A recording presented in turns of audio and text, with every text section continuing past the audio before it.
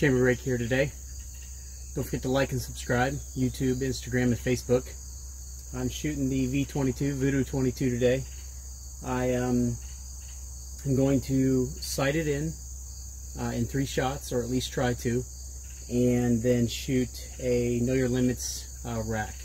And I'll have video down there, assuming it works. Um, and uh, what I've done is I put a different scope on it than I had before. I really haven't shot this gun much. I was spending most of my summer uh, working on the 375 CheyTac.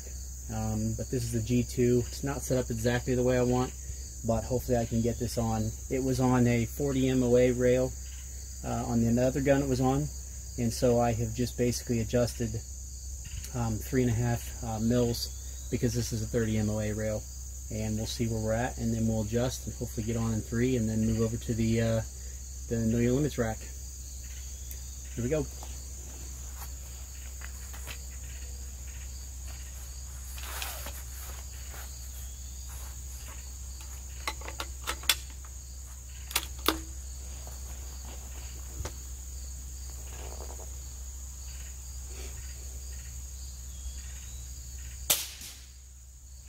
Okay, I'm about a mil right and quarter, half a mil.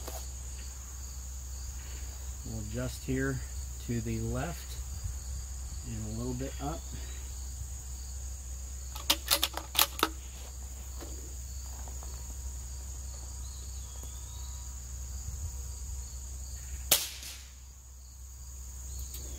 Not quite enough.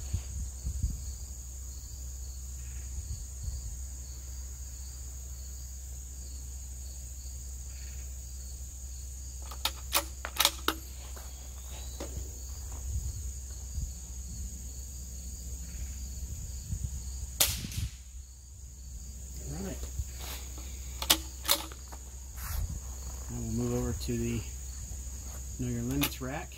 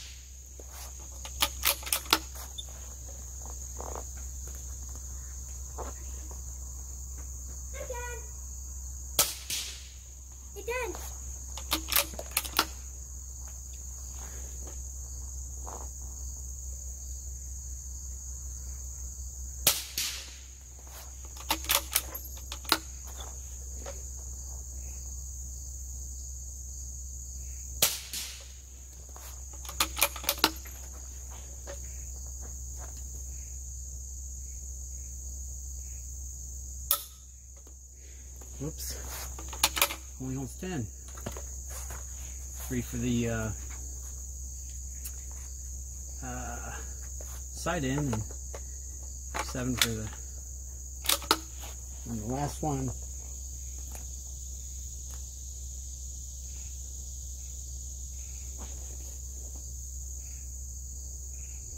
like having to reset.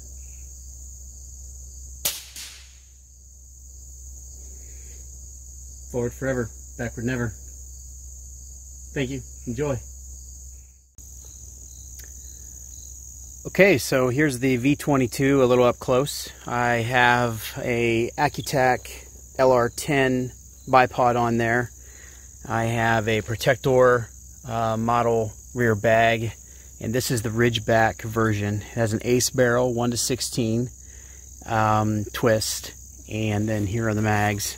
Um, my video of the box open showed basically how you load these, but you pull these down and um, put your uh, rounds in there. Holds a 10 round mag. Very nice mag, well built, feels very comfortable. Uh, this is built on a Remington 700 um, Action. I have the oversized bolt knob here, which I, I like, and um, very nice. There is a uh, TriggerTech Diamond in here I have it at 0.8 uh, pounds, which is what I prefer to shoot. um, because I do prefer the creep. I do have a straight shoe there. I have full extension on the uh, length of pull. It's actually not quite what I'm looking for length of pull wise. Um, I like the stock, but I like chassis a little better because they have a longer length of pull or you can adjust most of them. And then on the end, I have a Liberty suppressor. This is the Regulator 22 uh, for the long rifle.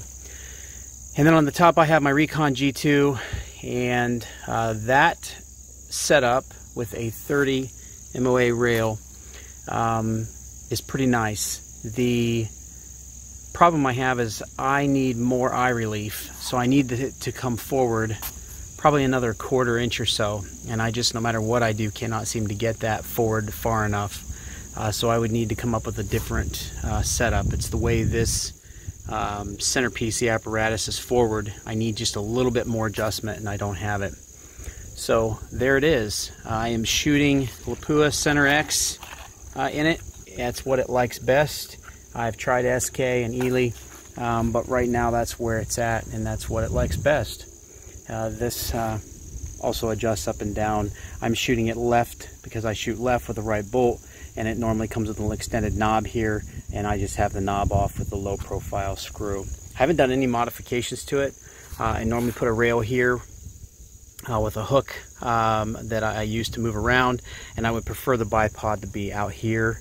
Uh, I don't have my Phoenix on here. I'm just shooting a traditional bipod. I guess this isn't traditional, um, but uh, it's what I've used here for a while. I prefer this to be a little shorter. I'd like it to be about two inches shorter over the years I've slowly uh, moved down with my height. I started, boy, probably 20 years ago with a 23 inch um, Harris and then went down steadily downsized down to 12 and then all the way down to 6 to 9.